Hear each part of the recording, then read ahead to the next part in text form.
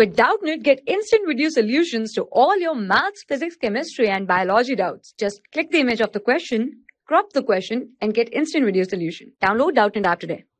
Hello everyone. Here the question is suppose the value of the equilibrium constant for the given reaction at 717 Kelvin is 64 then calculate the same for the reaction. So here we have to find out the equilibrium constant for this given reaction. This is our first reaction and this is our second reaction. So first is H2 plus I2.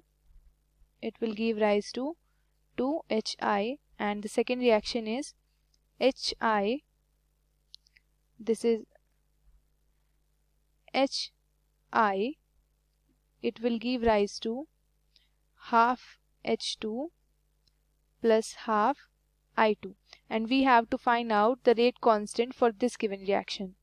So here the equilibrium constant for first reaction is given which is 64 and we have to find out rate constant for this reaction.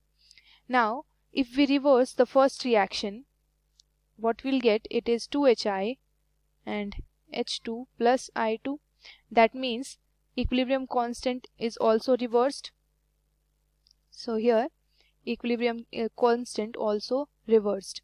Now if we multiply this reaction reverse reaction with 1 by 2 this whole reaction with 1 by 2 then we get our main reaction that is HI half H2 plus half I2 that means equilibrium constant we'll raise the power of equilibrium constant by 1 by 2 so the equilibrium constant for the main reaction that is k double dash for this given reaction it will e it is equals to k dash raised to the power 1 by 2 and here equilibrium constant for first reaction is given that is 64 and it will raise to the power 1 by 2 and after solving it will be 1 by 8 so here the equilibrium constant for this given reaction is 1 by 8 so correct option here is option 4 for class 6 to 12, IIT JEE and NEET level.